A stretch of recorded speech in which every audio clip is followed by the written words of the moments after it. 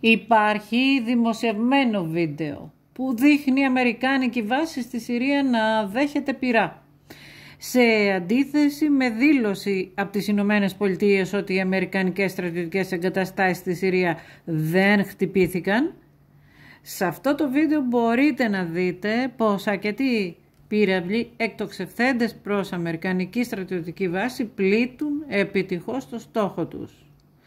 Υπέστη βαμβαρδισμό λοιπόν η Αμερικανική στρατιωτική εγκατάσταση που βρίσκεται κοντά στο πετρελαϊκό πεδίο Δουμάρ.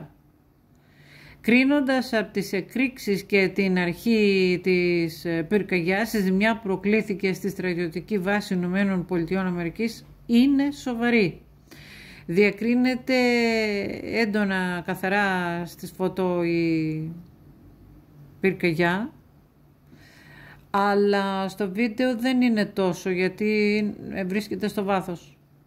Προς το παρόν παραμένει άγνωστο ποιος ήταν ακριβώς πίσω από την επίθεση δεδομένου ότι μπορεί να είναι τόσο φίλο Ιρανές, εδώ διακρίνεται καλά βλέπετε, ίσως φατρίες που πρόσκυνται στο Ιράν και τόσοι άλλοι τρομοκράτες εκεί του Ισλαμικού κράτους Όλοι αυτοί, έχω ξανατονίσει, δεν αναγνωρίζονται στην Ρωσική Ομοσπονδία. Να σημειωθεί ότι ο Αμερικανικός στρατός δέχεται τακτικά επίθεση στη Συρία.